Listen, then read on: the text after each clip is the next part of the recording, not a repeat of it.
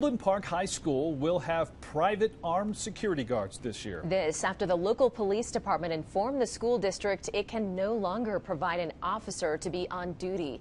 News Channel 13's Tyler Cunnington spoke with Woodland Park superintendent and residents today to gauge their reaction to this decision. Tyler. Yeah, Bart and Heather, Woodland Park High School begins classes next week, and students will now see private security guards patrolling their hallways. Thankfully, school administrators got word well ahead of time they wouldn't be getting that officer from the local police, which allowed them to plan for their change in the budget.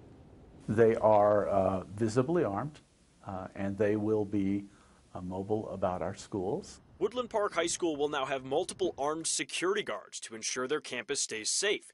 That's because administrators learned they wouldn't have a student resource officer, or SRO, provided to them by Woodland Park Police due to staffing shortages.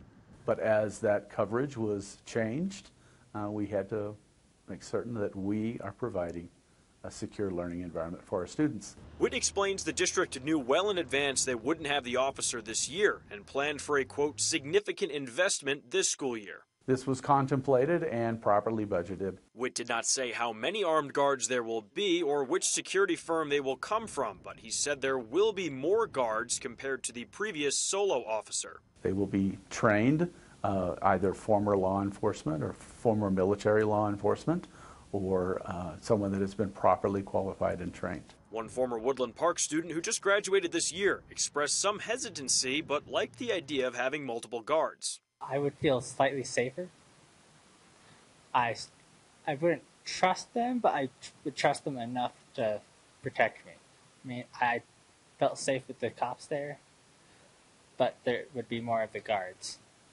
One woman I spoke to works at Gateway Elementary, located right in front of the high school on the same property. She says her daughter would soon be joining her at Gateway and welcomes the decision in the event of any emergency right up the hill. I think it's a good idea, you know, um, and with her being so young, it's it's nice to know that she would be protected if something did happen.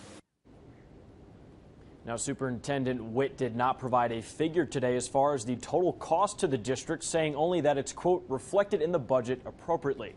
Reporting live in studio, Tyler Cunnington, KRDO News Channel 13.